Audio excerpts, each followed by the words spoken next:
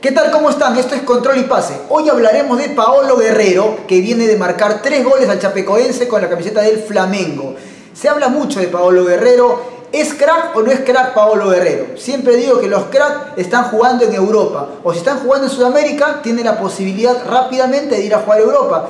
A Guerrero se le critica mucho el tema del gol, el promedio de los tantos que marca en las ligas, en el torneo de liga, tanto en la liga alemana cuando estuvo y también en el Brasileirao. El año pasado marcó 7 goles, tiene que mejorar su promedio. Es un gran jugador, es un gran delantero de las ligas sudamericanas, pero crack, creo que para mí, eh, por ejemplo, es Luis Suárez, eh, Cavani, también podemos decir de Diego Costa, que es un jugador muy parecido a Paolo Guerrero, pero ha sido campeón Diego Costa dos veces con el Chelsea, una vez con Atlético de Madrid de la Liga, tres títulos en Europa y ha sido goleador en los tres. O sea, hablamos de que el promedio de Guerrero tiene que mejorar en el Brasil Leirao para que no pueda ya ser tan criticado por varios hinchas de otros equipos también y comentaristas y futbolistas en el fútbol brasileño. Me parece que es el mejor jugador que tenemos en la selección peruana, pero un crack mundial creo que está lejos de eso, no se moleste nadie.